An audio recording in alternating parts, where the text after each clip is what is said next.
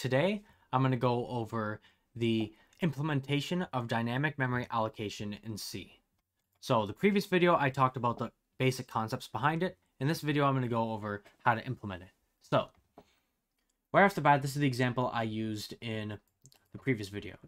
If you haven't saw it, a basic review, we call malloc. Malloc stands for memory allocation.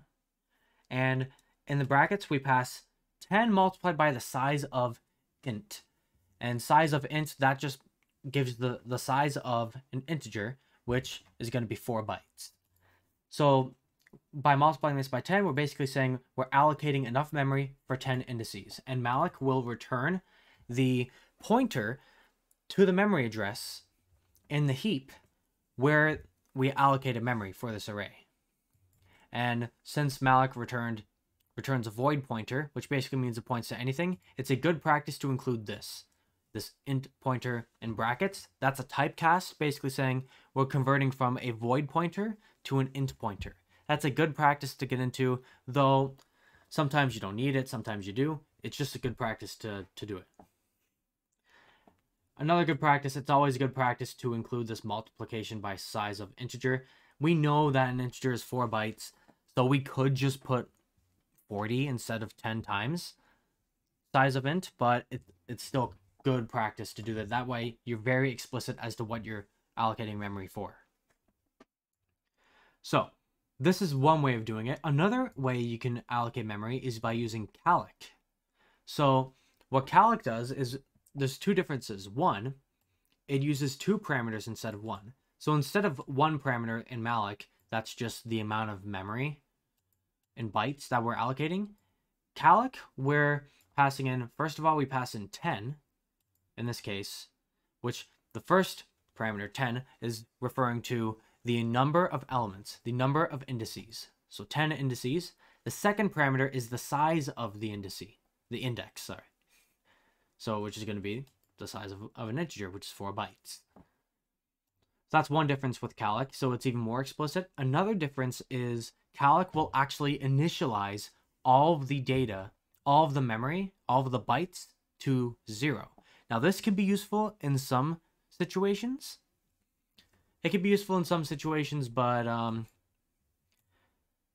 but what this does, it actually can run less efficiently if you're using it just instead of just normal malloc. Because malloc, typically it just runs in O at one time. It runs in constant time, while calloc will run in, in linear time. So calloc may take longer. It, it might be less efficient. Yeah, less efficient. And lastly, when when allocating memory for a string, a char pointer, we do the same process, though a common mistake is to do this. The length of the, of the string is 10 bytes, so we allocate enough memory for 10 bytes. The problem with this is strings in C have a, a null terminator. So if I declared a normal or just a static string like this, ah, there we go. This is technically six long. Sure, there's five characters, but the sixth one is the null terminator. And as we see, it says six because it reserves memory for the for the null terminator. So don't forget to include that plus one there. I've made that mistake before and, and it's cost me hours of confusion. Don't make that mistake.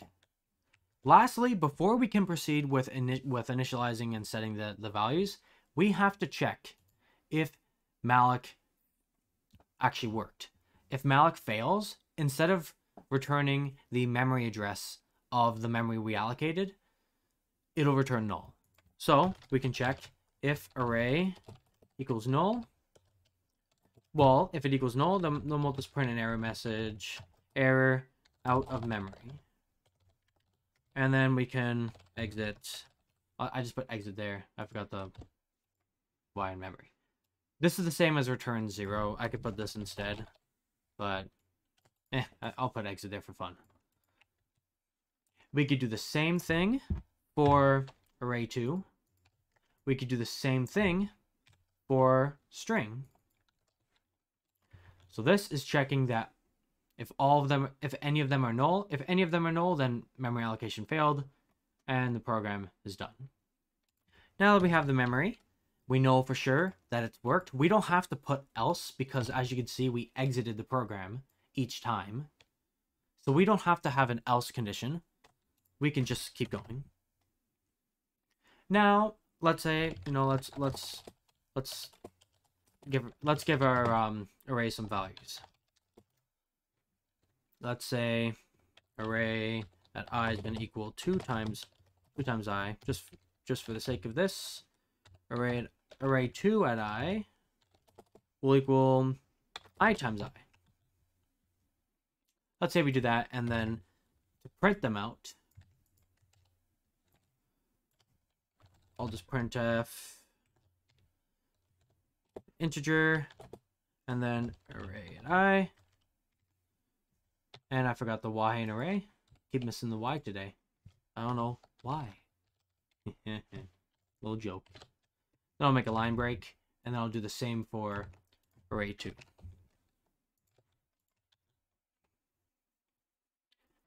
Alrighty. Now, when I run this, as you can see, I get the correct values for them. That's awesome. That's what we want. Now, let's say that we're done with this memory. Well, we're done with it. We don't need it anymore. We don't need array or array 2. We're done. So what we can do is we can just use free. We can free the memory by calling free and passing an array. This will pass in, you know, because array, you know, has the the location in memory, the memory location of the allocated memory. Free will just set it free. But now array is still pointing to um, to the memory address, even though it's been freed. So if I copy this, well, I'll also need this too. You see how I get garbage values here? I get something random. I didn't I didn't want that. And I run it again, I get something different. That's undefined behavior. And this is also called, this array becomes a dangling pointer, which means it's still pointing to the memory that was allocated, but it's not allocated anymore. It's free. So to prevent that, we could just set it equal to null. And then we're done with that. And we can do the same for array 2. Bam. Like that. Now, what if we wanted to, instead of just freeing them right away, what if we wanted to resize them? That's another perk of dynamic memory allocation, is if, if later on we need to resize an array, well, we can do that. So how do we do that? So, what we do is we'll just declare a new int array for, um, let's call it temp. And instead of calling malloc, we're going to call realloc. This is reallocation. Then what we pass in, it takes it takes in two parameters as one's a void pointer. This will just be the, um, let's say, array. This is the memory that we want to reallocate the size for. And then we can pass in the size. So let's say instead of 10, I want 12. So I'll just make this 12 instead. Alrighty. Now I can check if temp failed. If, if realloc failed.